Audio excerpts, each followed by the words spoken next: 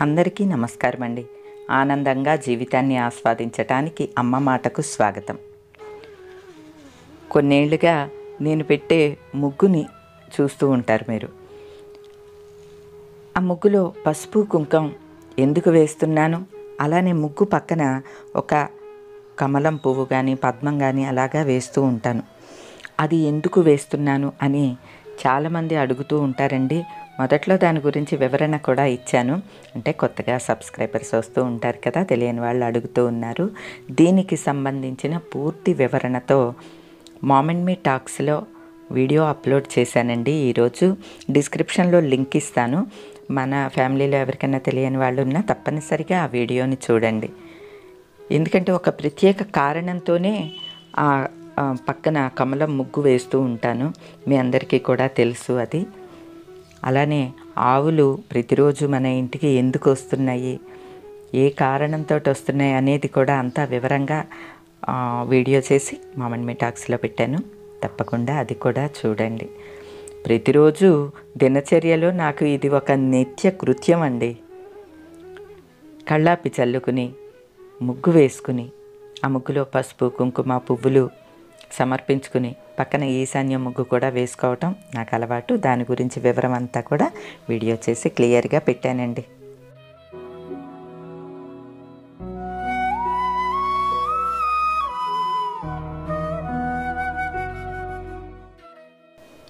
ఈరోజు ఉదయమే వరం ముగ్గు వేసిందండి. ముగ్గు ఎవరు వేసినా పసుపు కుంకుమ పువ్వులు మాత్రం నేనే వేస్తానండి. ఇదిగోండి మన సూపర్వైజర్ గారు కనపడట్లేదేంటి అని అడుగుతున్నారు. ఉదయమే వచ్చి ఆవు పంచకం వేసి మరీ అక్కడికి వెళ్ళి పక్కన కూర్చున్నారండి. కారు లేదు ఈరోజు షెడ్లో అందుకనే చక్కగా షెడ్లో పడుకుని ఉన్నారనమాట సూపర్వైజర్ గారు. రోజు ఏదో ఒక టైంలో ఖచ్చితంగా వస్తుందండి ఆ గోవు. నిన్న కామెంట్స్లో అడిగారు కదా కనపడట్లేదేంటి అని చెప్పి. అందుకని సూపర్వైజర్ గారిని కూడా చూపించేశానండి. ఈ రోజున విశేషమైన పూజ ఏదన్నా చేసుకోవాలి అని అంటే ఇంకొంచెం ఇంట్రెస్ట్గా ఆనందంగా అనిపిస్తూ ఉంటుందండి. సాయంత్రం సంకటహర చతుర్థి పూజ చేసుకుంటా ఈ రోజుకైతే నిత్య దీపారాధన ముందుగా ఉదయమే చేసేసుకుంటాం కదా. ఇదిగోండి సూపర్వైజర్ గారు వచ్చారు చూసారా? ఆమె గురించి చెప్తున్నానని అర్థమైనట్లున్నది. కొద్దిగా ఆహారం ఆయనకి పెట్టి ఇంట్లోకి వెళ్ళి పనులు చూసుకుని ఇక పూజ ముందు కూర్చున్నానండి. ఈరోజు సంకటహర చతుర్థి ఉంది అని చెప్పాను. సాయంత్రం పూజ చేసుకుంటారండి సంకటహర చతుర్థి. సాధారణంగా సాయంత్రం పూజ చేసుకుంటారు. వీలు కాని వాళ్ళు రేపు ఉదయం చేసుకోండి. ఎనిమిదింటిలోపు గణేశుడికి పూజ చేసుకోవచ్చు. ముడుపు కట్టాలనుకున్న వాళ్ళు చక్కగా కట్టుకోవచ్చు. ఆల్రెడీ ముడుపు కట్టిన వాళ్ళేమో పూజ చేసుకోవచ్చు. అంటే కొద్దిగా ముందు తెలియచేయమన్నారని నిన్ననే తెలియచేశాను. ఈరోజు ఉదయం మామూలు నిత్య దీపారాధన చేసేసుకుంటున్నానండి. సాయంత్రం ఈరోజు సంకటహర చతుర్థి పూజ చేసుకుంటాను. ఒక్కసారి పువ్వులు తెచ్చుకుని ఫ్రిడ్జ్లో పెట్టుకుంటే చాలా రోజులే వస్తూ ఉంటాయండి. ఇవి ఆఖరివి కొన్ని ఉంటే అవి వాడేస్తున్నాను. ఈరోజు చెప్పాను పువ్వులు తెచ్చిపెట్టండి సంకటహర చతుర్థి పూజ చేసుకోవాలి సాయంత్రం అని చెప్పాను. సాయంత్రం పూజకి అన్ని ఏర్పాట్లు చేసుకుంటాను ఈ రోజంతా ఉన్నది కాబట్టి. ఇప్పుడైతే నిత్య దీపారాధనకి ఉన్న పుష్పాలను స్వామికి సమర్పించుకోవటం. ఆచమనం కోసం అలానే మరొక చెంబులోనేమో స్వామివారికి ఆర్ఘ్యం. అవి వదలటానికి ఒకటి రెండు చెంబుల్లో నీళ్ళు పెడుతూ ఉంటాను. రెండు చెంబులు ఎందుకు పెడతారు అని కూడా అడుగుతూ ఉంటారండి. ఒకటి మనం ఆచమనం తీసుకోవటానికి మరొకటి స్వామివారి కోసం అన్నట్లు రెండు చెంబుల్లో పెడతాను అనమాట అండి దీపారాధన చేసుకోవటం అగరబత్తీలు వెలిగించుకోవటం హారతి సమర్పించటం నైవేద్యం సమర్పించి హారతిని సమర్పించుకోవటం. ఇదే అండి నిత్య దీపారాధన. నిత్య పూజ అంటే బాగా బీభత్సంగా ఎక్కువ టైం కూడా ఏమీ పట్టేది. ఒకవేళ మనకి నచ్చింది అనుకోండి ఎక్కువసేపు కూర్చుని కూడా అలా పూజ చేసుకుంటూ ఉంటాము.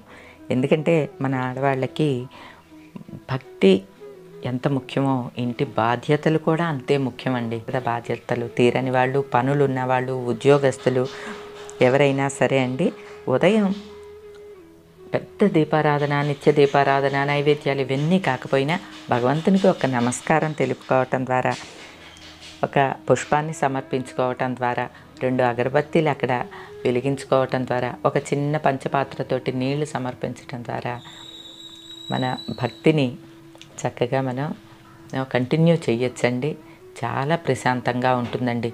ఒక పాజిటివ్ వైబ్స్ అయితే మనకి ఖచ్చితంగా కనిపిస్తాయండి. ముందు మన బాధ్యతలండి. ఆ తర్వాతనే మనకున్న టైంని మనం సద్వినియోగం చేసుకోవటం.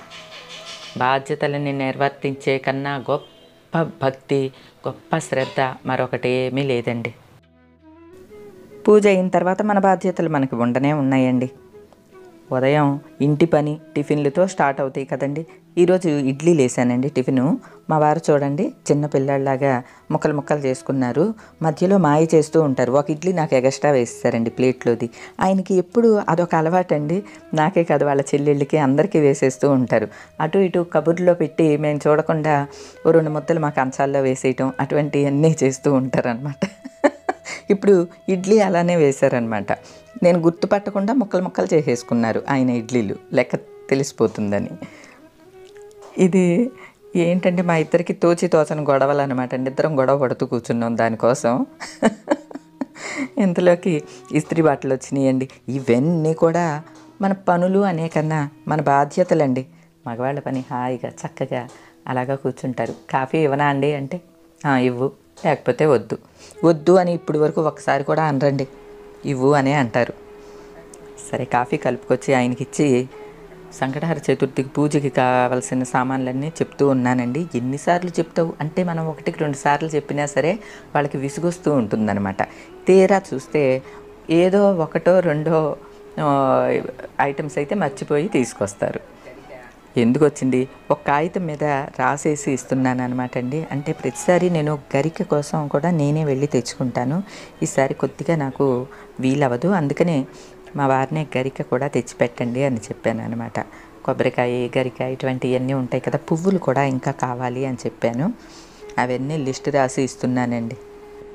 ఇక మా పనులు అయిన తర్వాత నేను బయటికి వచ్చేసరికి మన సబ్స్క్రైబర్స్ అంటండి ఇంటి ముందు నుంచి వెళ్తూ గుడికి వెళ్తున్నాము పారిజాతం పువ్వులు తీసుకెళ్తున్నాము మీరు కొన్ని పూజ చేసుకుంటారా అని చెప్పి కొన్ని పారిజాత పువ్వులు ఇచ్చారండి. నాకు భలే సంతోషంగా అనిపించింది. ఎందుకంటే పారిజాతం పువ్వులంటే నాకు చాలా ఇష్టం అండి మిగతా పువ్వులన్నీ ఒక ఎత్తు పారిజాతం పువ్వులు మాత్రం కేవలం భగవంతుని అర్చన కోసమే సృష్టించబడ్డాయి అనేది నా అభిప్రాయం అండి. ఇక వెంటనే పూజ కోసం సిద్ధం చేసుకుంటున్నానండి.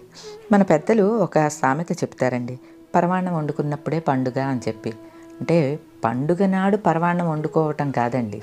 పరమాణం వండుకున్నప్పుడే పండుగ అనుకోవాలట. అలాగా నాకు పువ్వులు ఎప్పుడు దొరికితే అప్పుడే పూజ అండి. అందున పారిజాతం పువ్వులు అని అంటే అవి రాత్రి విడిచే పువ్వులండి. ఉదయానికి కొద్దిగా ఒడిలిపోయినట్లు అవుతాయి. అందుకని వెంటనే పూజ చేసేసుకోవడానికి సిద్ధం చేసుకున్నానండి.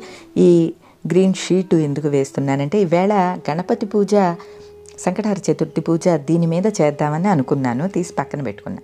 సరే ఎట్లానో పారిజాతాలు వచ్చినాయి కాబట్టి శివయ్య కూడా దీని మీదే పూజ చేసుకుందాం అనుకుని ఒక సింహాసనాన్ని పెట్టుకుని నా దగ్గర ఉన్న చక్కని శివలింగం ఉంటుందండి. ఆ శివలింగాన్ని ఇలా పెట్టుకుని అటు ఇటు శంఖ చక్రాలను దీపాలుగా పెట్టుకుని పారిజాత పుష్పాలతో పూజ చేస్తుంటే అండి ఎంత ఆనందంగా ఉందో అండి. పోలెడని పారిజాతం పువ్వులు. చక్కగా శివయ్యకి అర్పిస్తూ ఉంటే చాలా ఆనందంగా అనిపించిందండి. మన కొత్త ఇంట్లో పారిజాతం చెట్టు కూడా వేసుకోవాలి. తప్పకుండా ఇది ఎప్పుడో అనుకున్నానులేండి. ఒక పారిజాతం చెట్టు మాత్రం కంపల్సరీ వేసుకుంటానండి. అసలు చక్కగా చేతి నిండా ఆ పుష్పాలను స్వామికి సమర్పిస్తూ నా నోటికొచ్చిన స్తోత్రాలు మంత్రాలు ఏయో చదువుకుంటూ కూర్చుంటే ఎంతో సంతోషంగా ఉంటుందండి. మీరు ఇవన్నీ చేస్తూ ఉన్నారు పని ఎప్పుడు చేస్తారు అని మీరు ఎవరన్నా అనుకోవచ్చండి. ఓ బోలెడంత టైం ఉంటుందండి. మనకున్న సమయంలో మనకి ఎంతో ఇష్టమైన పనిని చేసుకున్నప్పుడు ఇంకా ఆనందంగా అనిపిస్తుందండి. ప్రతిరోజు చేసేయండి వంట పనులు ఇవన్నీను. కానీ ప్రతిరోజు నాకు పారిజాతం పువ్వులు దొరకవు కదండి. అందుకని ఆ పారిజాతాలు దొరికినప్పుడే స్వామి పాదాల దగ్గర నాలుగు సమర్పిస్తే ఎంతో ఆనందంగా అనిపిస్తుందండి. మన ఆడవాళ్ళం అందరం చాలా అల్ప సంతోషులు అండి బాగా పూజ చేసుకుంటే సంతోషపడిపోతూ ఉంటాం. పూజకి బోలెడని పువ్వులు దొరికితే ఇంకా చాలా సంతోషించేస్తూ ఉంటామండి. మన సంతోషాలన్నీ కూడా మన చుట్టూనే ఉంటాయండి. స్వామికి కొద్దిగా గంధం కుంకుమ దిద్ది హారతి ఇచ్చుకున్న తర్వాత చాలా సంతోషంగా అనిపించిందండి. చాలా ఆనందంగా పూజ చేసుకున్నానండి.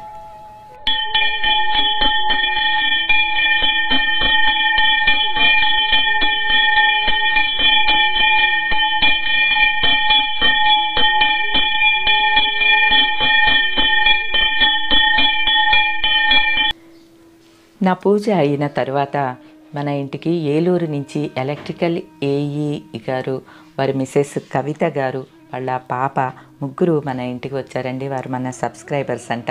మా ఇల్లుని వెతుక్కుంటూ వచ్చారు. చాలా సంతోషంగా అనిపించింది. అలానే ఏఈ గారు మధ్యాహ్నం లంచ్కి ఇంటికి వెళ్ళినప్పుడల్లా వీడియోస్ చూస్తారటండి. ఆయనకి చాలా ఇష్టమట నా వీడియోస్. చెప్పినప్పుడు చాలా సంతోషంగా అనిపించిందండి. వారిని వీడియో తీసుకోవటం నాకు కుదరలేదండి. కవిత గారు మీకు మీ వారికి చాలా చాలా థ్యాంక్స్ అండి. అలానే మరొక సబ్స్క్రైబర్స్ జంట కూడా వచ్చారండి ఈరోజు. వీరేనండి వీరు భీమవరమే గుంటూరు ట్రాన్స్ఫర్ అయిపోయిందటండి. కేవీబీలో వర్క్ చేస్తారట ఆయన ఫీల్డ్ ఆఫీసర్గా. గుంటూరు ట్రాన్స్ఫర్ అయిపోయిందండి. మేము వెళ్తూ మిమ్మల్ని చూద్దామని అని చెప్పి వచ్చాము. రేపే వెళ్ళిపోతున్నాము అని చెప్పారు. మీ వీడియోస్ అంటే నాకు చాలా ఇష్టం అండి అని ఆవిడ చెప్తుంటే ఆయన కూడా మీ వీడియోస్ అన్నీ ఒక్కటి కూడా వదలకుండా చూస్తామండి. చాలా బాగుంటాయి. ఇప్పటి ఆడవాళ్ళకి అవసరమైనవి అన్నీ కూడా చాలా సులువుగా ఈజీగా చెప్తూ ఉన్నారు. చాలా బాగుంటున్నాయని ఆయన చెప్పినప్పుడు నాకు చాలా సంతోషంగా అనిపించిందండి. ఎందుకంటే నా వీడియోస్ ఆడవాళ్ళకే కాదు మగవాళ్ళకి కూడా నచ్చుతున్నాయంటే అంతకన్నా ఆనందం ఏముంటుందండి? ఈరోజు శివయ్య పూజని ఎంత ఆనందంగా చేసుకున్నానో.